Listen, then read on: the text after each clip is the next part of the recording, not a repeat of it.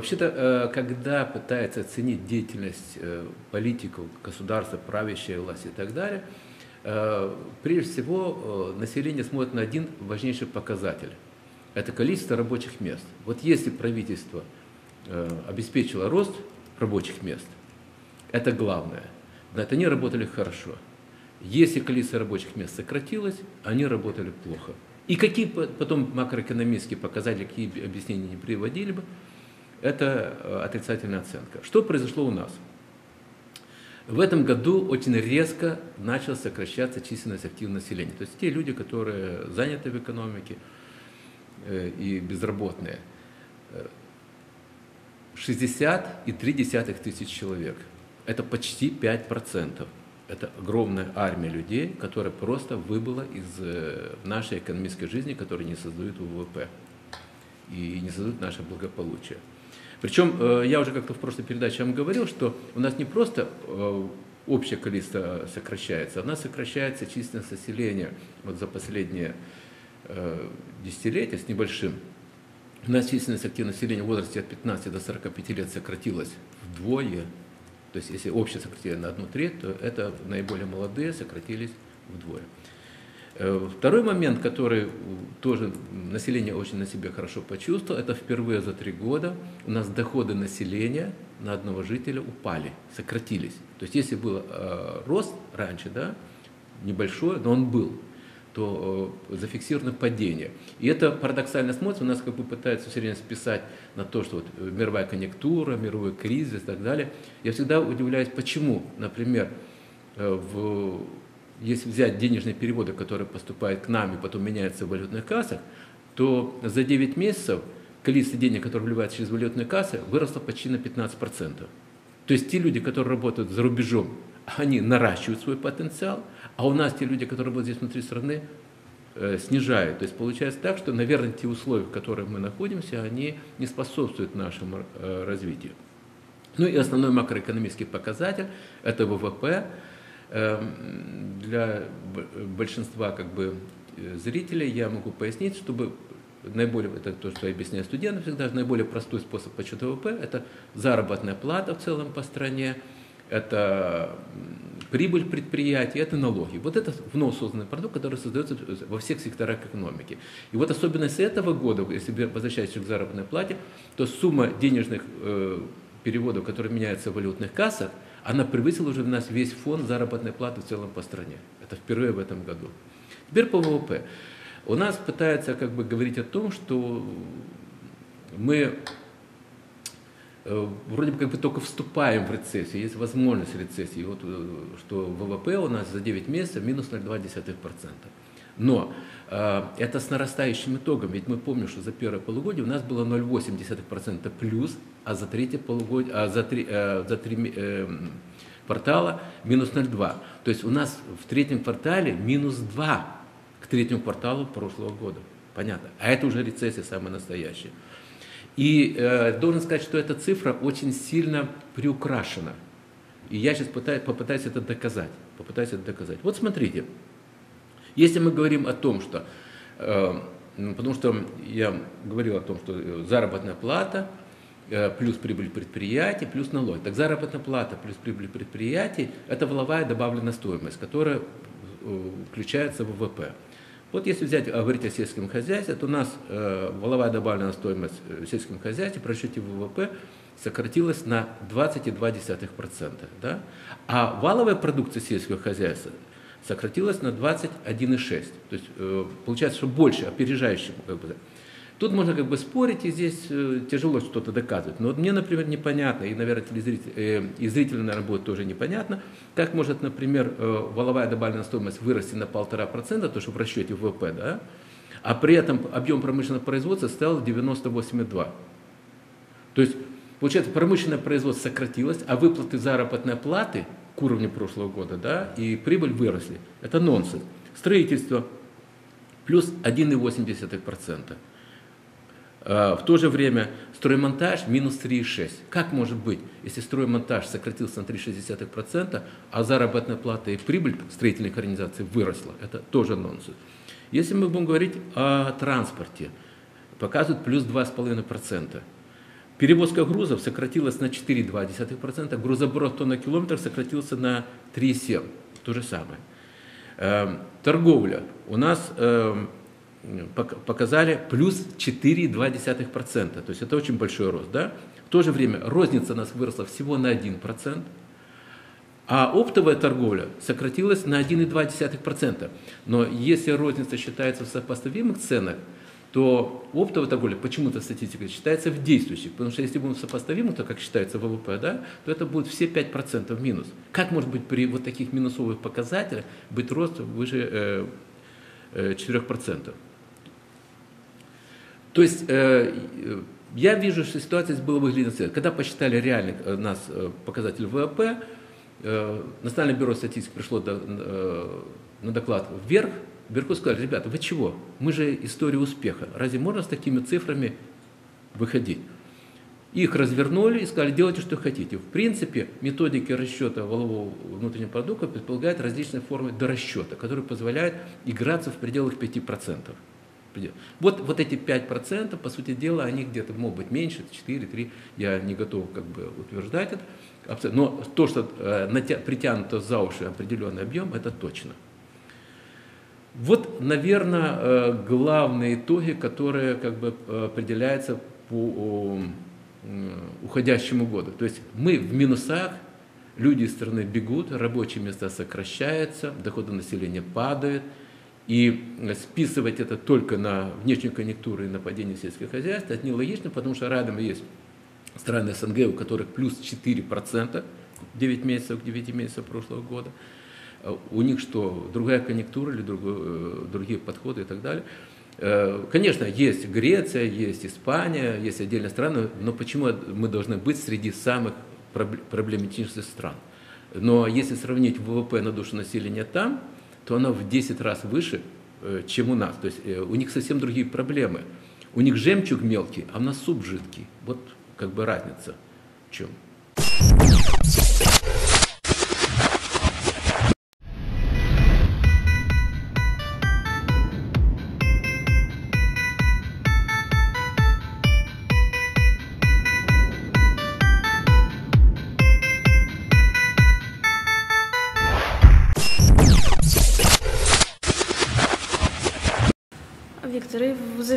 Передачи хотелось бы услышать все-таки ваш прогноз, как будет развиваться экономическая ситуация, ну, хотя бы в ближайшие месяцы. Вот подводя, подведя итог всему тому, что мы сегодня сказали. Вы знаете, я бы хотел э, завершить на позитивной ноте. Но, к сожалению, нет факторов для позитива. И скажу почему. Нет, ошибаюсь. Есть один фактор – этот фактор, то, что наконец граждане Республики Молдова поняли, что альтернатива есть. И последний барометр общественного мнения показал, что граждане нашей страны с большей симпатией относятся уже к альтернативному проекту, а именно вступлению в Республике Молдова в таможенный союз. И во главу угла они как раз и ставят экономические вопросы – это снижение тарифов, это рост рабоч... Э, количества рабочих мест, это дополнительные доходы и тому подобное. И это радует. Но меня, я с грустью думаю о том, что если не будет изменен политический курс, или не, будет сделан, не будут сделаны какие-то изменения в отношении и приоритетах, то нас ждут даже намного плачевные времена. Почему? Первое нет никаких факторов и предпосылок, чтобы ситуация в целом внутри страны и во внешнем факторе изменилась в лучшую сторону. Даже плюс к тому, канцлер Германии госпожа Меркель сказала открыто, что кризис в Европе будет продолжаться по крайней мере лет еще пять. Это первое и очень важное. А я вернусь к идее, что наша страна имеет довольно большой процент влияния внешнего фактора на внутренние процессы. Мы зависим очень сильно от того, с кем мы имеем политические и экономические отношения. И уже на уровне того, что падает экспорт и импорт со стран Евросоюза, это направляет на мысли, что не все так хорошо. Второе. Наше, наше правительство и наши правители все больше нас убеждают в том плане, что мы должны подписать договор о свободной торговле с Евросоюзом, что, по моему мнению, субъективному мнению, это нанесет сокрушительный удар по последним остаточным сегментам производителя, местного производителя. Потому что наш производитель еще не готов к жесткой конкуренции, особенно в кризисное время. Почему? Потому что у нас очень энергоемкое производство. У нас очень большие стоимости производства. И у нас в Республике Молдова всегда продукт будет стоить намного выше, чем в странах Евросоюза, которые имеют больше рынка, которые имеют более объемное производство, чем наши производители – и по отношению к украинским производителям, и по отношению к русским производителям наши производители будут проигрывать, не говоря уже о производителях Евросоюза. Поэтому это ведет к уничтожению реальной экономики Республики Молдова.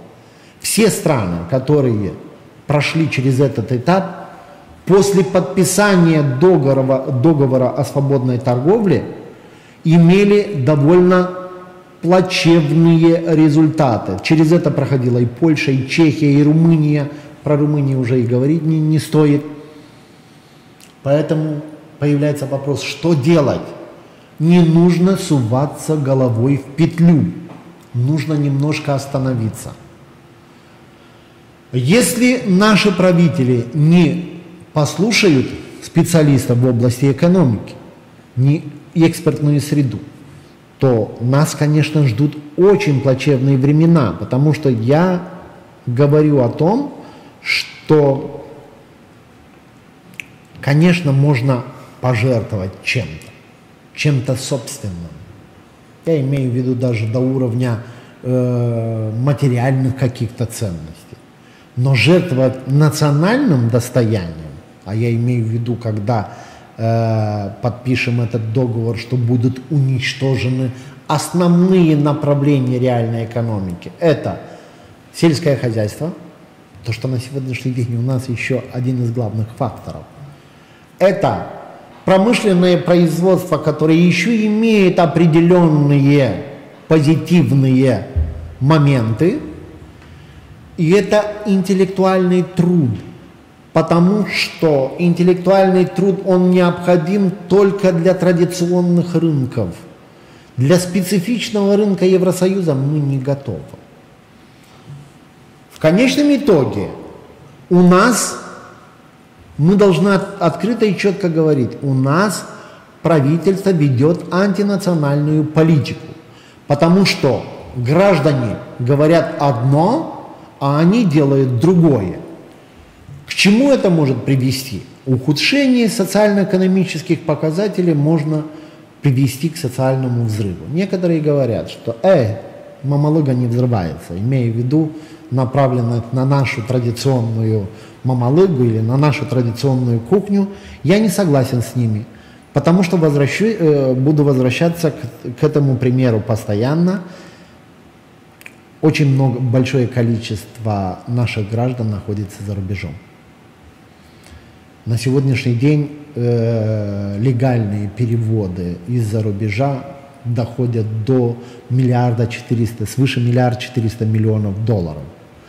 При ухудшении этих показателей у нас в Республике Молдова может произойти, произойти негативный, ну, такой э, взрывоопасный тренд. И в конечном итоге мы можем прийти к социальным э, социальным бунтом. Нашему производителю негде девать свою продукцию, нет инструментария нужного. И в конечном итоге все, что делает правительство, делает правительство для того, чтобы удержаться у власти, а не для решения каких-то конкретных задач в экономическом или в политическом плане. Получится у них стабилизировать ситуацию, у меня большие сомнения. Сомнения в том, что используемый инструментарий, он недостаточен для того, чтобы сбалансировать ситуацию. Нужны, нужна новая политическая повестка дня, новые экономические политики, которые бы дали бы возможность не только привлечь иностранных инвесторов, но дать возможность нашим местным инвесторам делать инвестиции. Зачем нам иностранные инвесторы? Вот подумайте чуть-чуть. Наши граждане перечисляют легально свыше миллиарда четыреста миллионов. Мы говорим о крупных инвестициях 15 миллионов, 20 миллионов, 30 миллионов. А здесь астрономические суммы. Миллиард 400 миллионов долларов. Это только легальная часть, которая проходит через банковскую систему. Но мы-то знаем, что эта сумма в три раза больше. Это означает, что ежегодно в Республике Молдова поступает свыше 4 миллиарда долларов. И все эти деньги, все эти финансовые потоки пользуются бандитами для обогащения. Это и в банковской сфере. Почему господин Гергеев направлял взор на банковскую систему? Это и в системе обмена. Это и монополизация определенных сфер влияния в экономическом плане и в политическом плане. Ну и давайте поразмыслим вместе, подумаем вместе. А какое из правительства сделало бы какую-нибудь программу или проект инвестирования, долгосрочного инвестирования нашими гражданами в нашу экономику? А я вам могу привести пример. Скандал в парламенте, когда либерал-демократы предложили немножко снизить бюрократическое бремя на перевод земельных участков, которые находятся вблизи магистрально-транспортных артерий по территории Республики Молдова. Я имею в виду перевод их сельскохозяйственных угодий в, э, в земли под строительство. Тут же появился интерес у либеральной партии, которая имеет в своем ведении или будем так говорить, в своем кармане Министерство транспорта говорит, нет, это наша зона, мы здесь должны решить. Вы понимаете, даже такой проект, как реконструкция дороги, само по себе инвестирование, поднимает капитализацию. Значит, стоимость одной сотки вблизи вот этого, этой трассы растет. Само действие не говоря уже об инвестициях в эту трассу. Потому что человек думает, а завтра появляется, появляется, появляется покупатель, который хочет инвестировать, там построить ресторанчик, паркинг, э, э, пеко. Само по себе действия приводят к капитализации. А вот вы сейчас подумайте, если бы государство создало фонд долгосрочного инвестирования и развития инфраструктуры – вот они имеют программу 1 плюс 1. Один лей инвестирует гражданин, один лей правительство. Так вот, правительство принимает решение. Мы на 10 миллиардов делаем долгосрочную программу по инвестициям в этот объект и перечень объектов. Граждане, дорогие, инвестируйте один лей, получите 2 лея инвестиций. Вы подумайте, сколько инвесторов будет? Вы должны подумать и направить свой взор на количество поступающих денег. Не имея таких предложений со стороны правления, люди направляют эти деньги на что? На собственные инвестиции. Покупают дома, недвижимость, всякое там э, и на потребление. Поэтому, не имея четких экономических политик, мы теряем. Почему теряем? Потому что политика нынешнего управления направлена на потребление. Гражданин потребляет из того, что он добывает своим трудом, а правители потребляют то, что платят граждане в бюджет. Значит, некоторые делают ошибку. Говорят, демократия – это тогда, когда правит народ, суверен. И они ошибаются, они не знают, что принципы демократии появились в Европе. А в Европе всегда говорили, правят правители от имени народа. Но, к сожалению, получается, что не всегда во благо народа.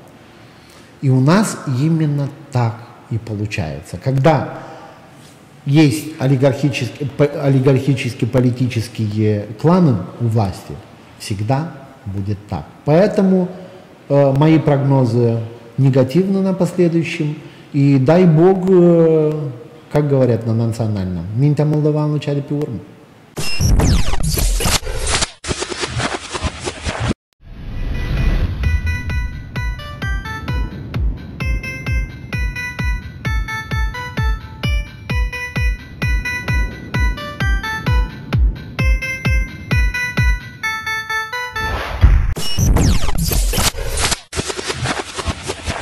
Предопределило развитие, это избрание президента или нет. Да, но не важное событие, для меня, по крайней мере. Ну, избрали Тимофти, ну, не избрали бы его, другого бы избрали.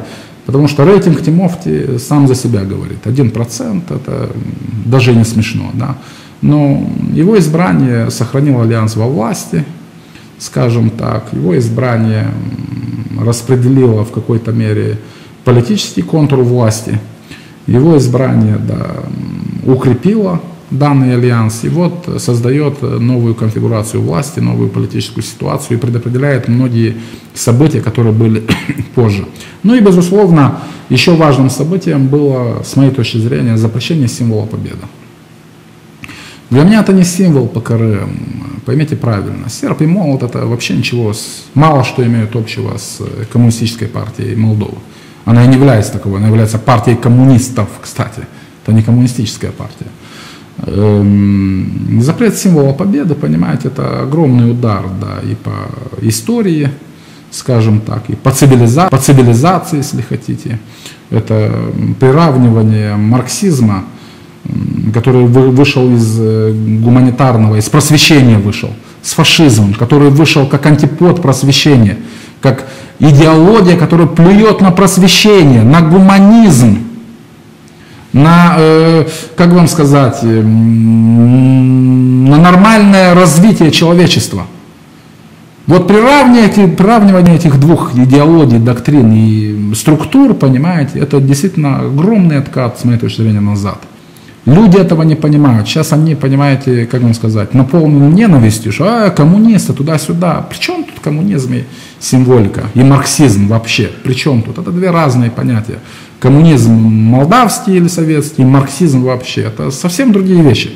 И победа. Понимаете, вот то, что мы плюнули на, как вам сказать, символ победы, на то, за что боролись и погибли миллионы людей, вот это действительно, наверное, является самым главным событием вообще по своей значимости. Если избрание президента это не главное событие по значимости, оно главное потому, что оно предопределило структуру. А по значимости вообще это главное событие, которое, мне кажется, что здесь совершена глубокая ошибка. Глубокая ошибка. Я в этом убежден, и дискуссии, с моей точки зрения, это, это не подлежит. Вот такая оценка.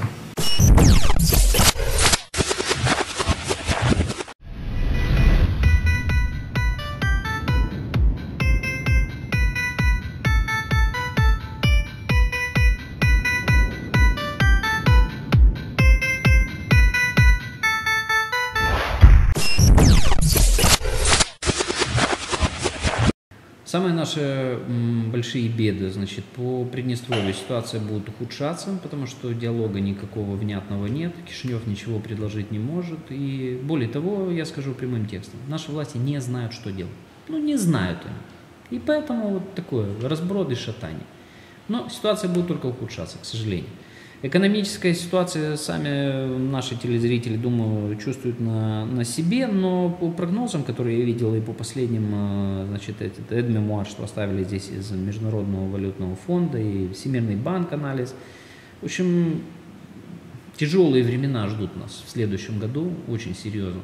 Ну а на фоне этих двух вопросов, что, что может быть, что, что мы можем ожидать, что еще кто-то приедет. Ну пусть приезжает, welcome, конечно, но я не вижу правильного направления развития нашей страны. Это не так должно все идти.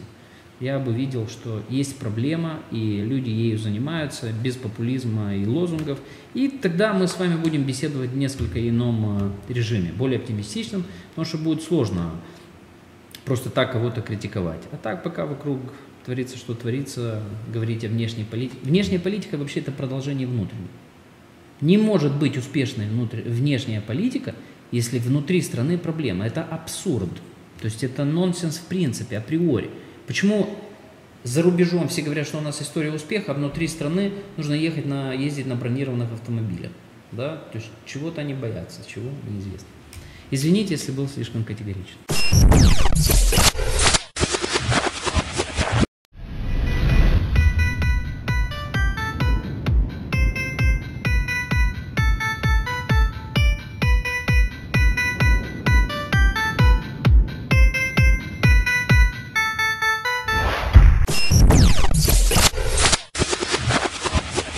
Самая важная, мне кажется, вещь, которая будет происходить, это ухудшение экономической ситуации. То, э, то, что там эти партии между собой там друг другу бьют физиономии в парламенте, это, ну, бог с ними.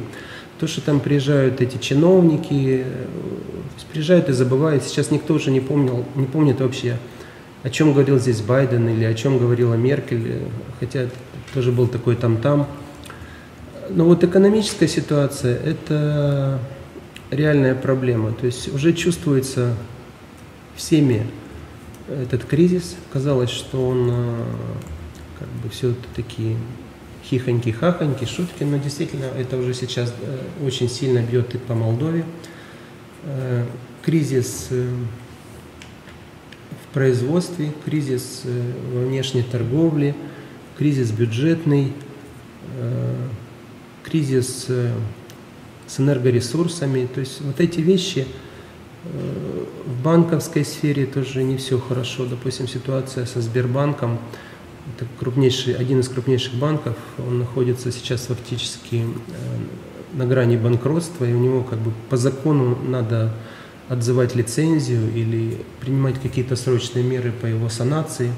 То есть я думаю, что вот такие вещи, э, вот это реальная угроза для властей. То есть не оппозиция парламентская или внепарламентская, а экономическая ситуация. Это угроза для властей, но все равно они как бы, я думаю, это все переживут.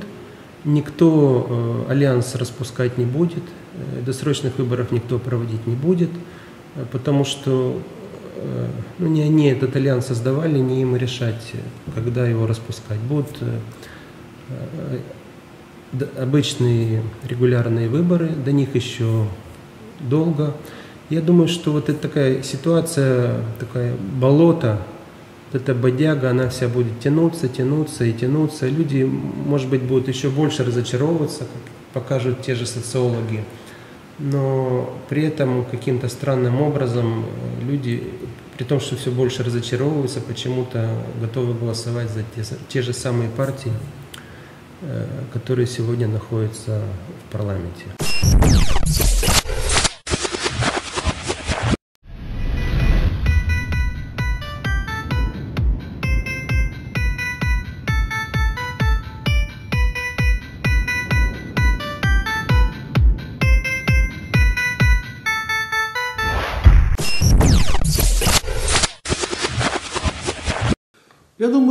Никаких э, изменений в плане улучшения не, не будет происходить. Я уже говорил о том, что следующий год это э, год перед годом выборов, выборов, а это, это значит, что партии будут и политики будут сконцентрированы на, на укреплении позиций своих собственных партий, никто не будет предпринимать каких-либо э, реформ, изменений, никто не будет бороться с коррупцией, потому что это э, рискованно. Да и не те политики у нас, мы убедились в том, что и в более благоприятной ситуации они ничего не способны делать или боятся. Это огромное разочарование для всех нас, такое качество политического класса. Эм, и поэтому надо ждать ухудшения ситуации.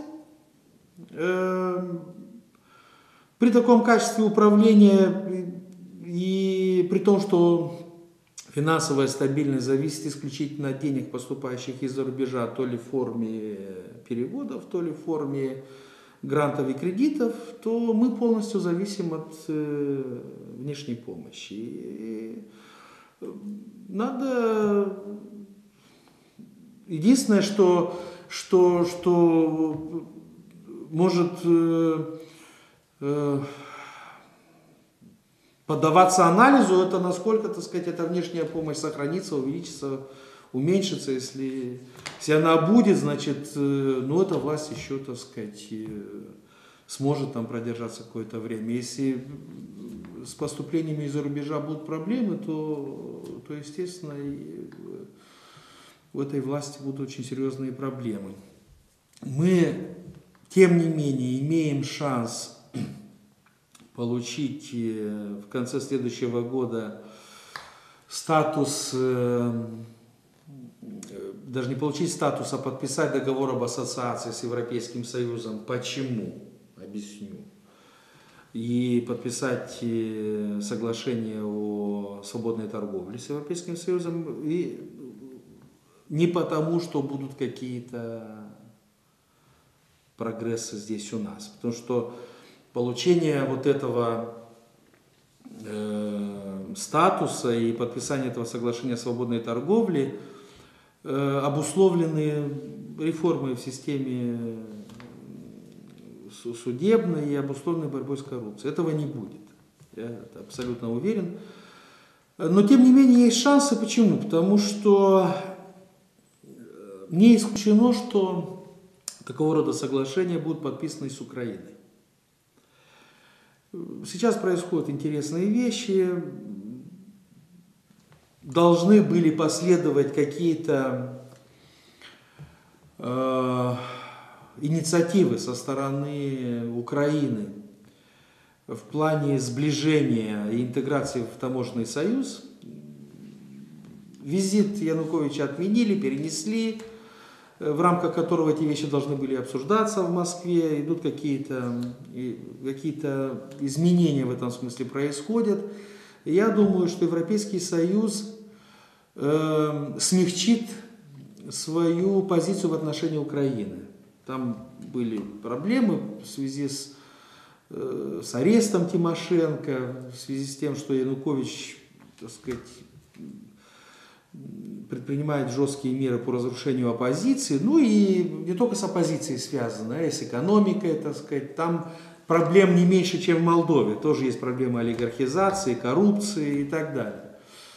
Во всей вероятности Европейский Союз для того, чтобы не дать Украине вступить в таможенный союз, будет более конструктивен и смягчит свою позицию в отношении Украины, и Украина получит Э, соглашение об ассоциации, соглашение о свободной торговле. И Молдова, конечно, в этом смысле геополитически попадает в этот же мейнстрим, как говорится, попадает в эту же колею. И в этом смысле есть у нас шанс э, все это получить. Хорошо это или плохо, посмотрим. Я сейчас сложно сказать.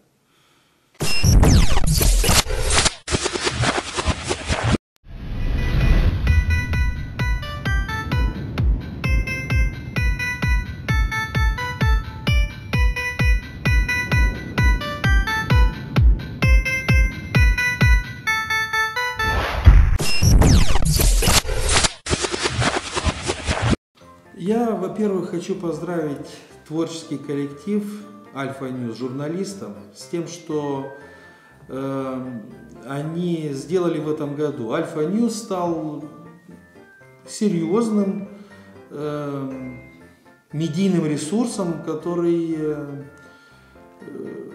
приглашают интересных людей, которые делают интересные передачи, которые смотрят и слушают все больше и больше людей. Я желаю в следующем году увеличения аудитории и новых э, творческих достижений. Зрителям Alfa News желаю в новом году счастья, здоровья и веры в то, что тяжелые времена пройдут и будут праздники на нашей улице. Всем всех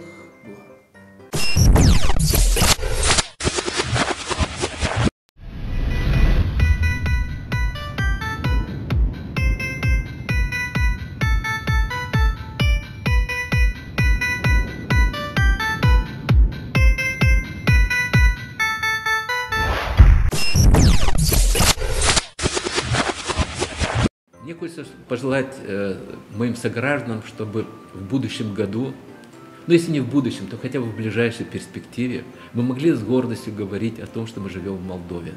Не стесняться того, что это самая бедная страна в Европе, что у нас процветает коррупция, что наша власть думает о том, как э, набить свои карманы, поделить денежные потоки, а не решать вопрос реально создания рабочих мест, чтобы она реально боролась с коррупцией, а не имитировала эту деятельность.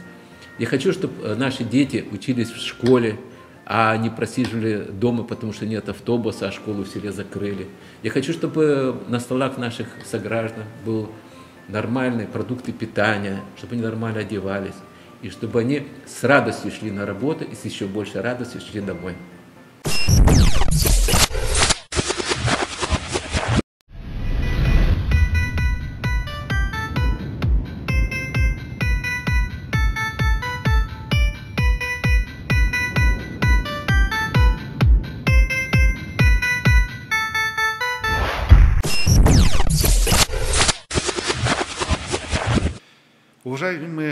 Зрители и читатели информационного портала Alfa News.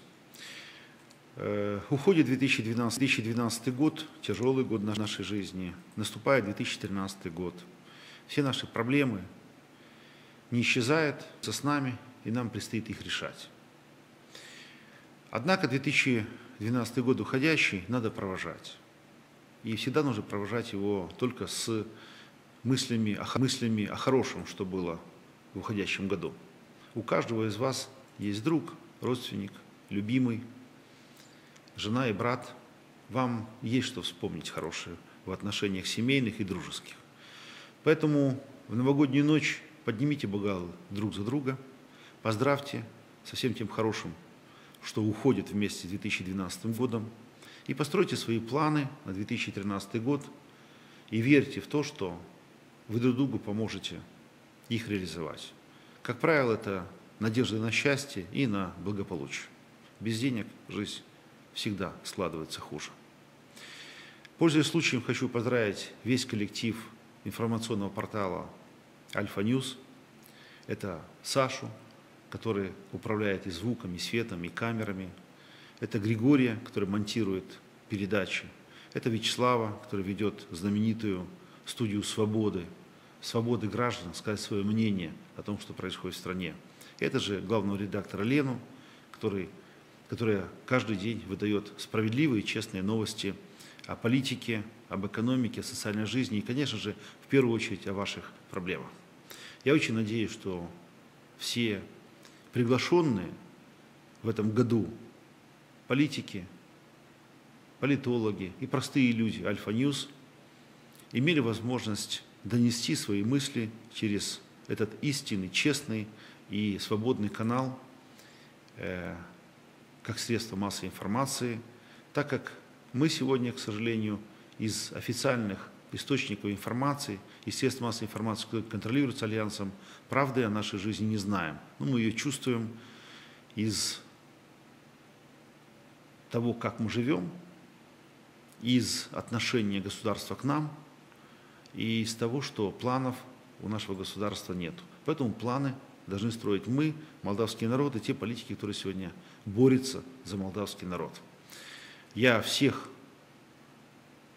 прошу чаще обращать внимание на информационный портал Alfa News, потому что это портал, который стал истинным рупором мнения молдавского народа. Всех вас с наступающим Новым годом! С наступающим Рождеством Христова. Счастья вам и благополучия.